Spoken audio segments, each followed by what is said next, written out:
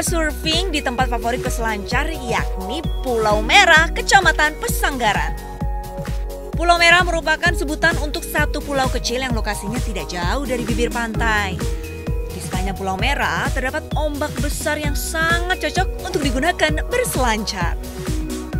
Pulau Merah pun kerap menjadi tuan rumah International Surfing Competition dalam beberapa tahun terakhir loh.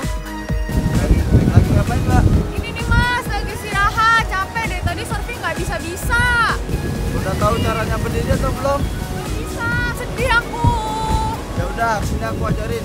Serius nih, masih bisa surfing nih? Bisa? Ajarin ya. Ya. Oke, ayo.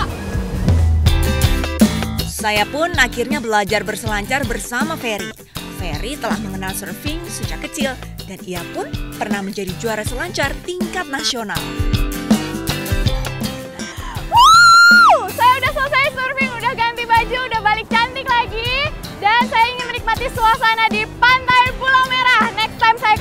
bisa surfing.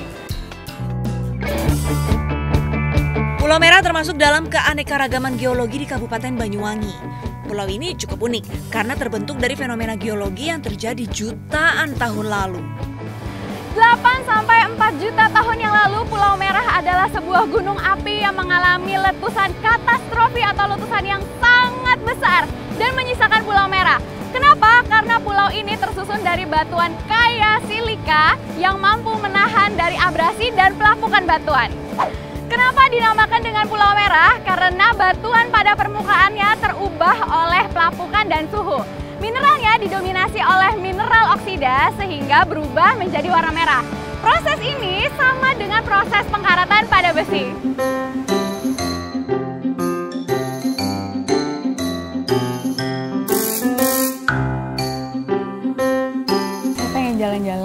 Tapi bapaknya tidur. Cobain aja sendiri kali ya. Bapaknya tidur, kudanya saya ajak jalan-jalan. Ayo. Tiga.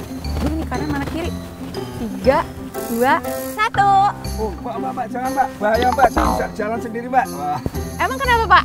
bahaya mbak, bisa jatuh nanti mbak. Oh gitu, emang saya nggak bisa nih? Nggak boleh. Nggak bisa bahaya mbak. Coba ya udah saya deh. sayang mbak. Ya udah deh kasih ke bapaknya aja. Tapi bapak bisa nemenin saya jalan-jalan Oh kan? iya bisa, bisa. Ya deh, saya duduk sini boleh? Ya boleh, boleh, Oke. boleh.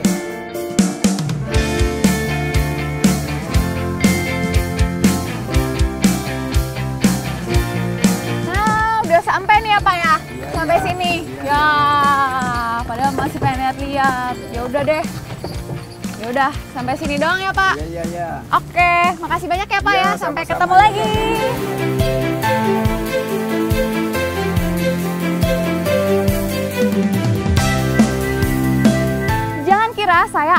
Hutan Vengan yang ada pada film The Lord of the Ring di New Zealand karena saya masih ada di Indonesia, tepatnya di Dejawatan yang identik dengan pohon trembesi yang gede-gede banget yang ada di belakang saya nih.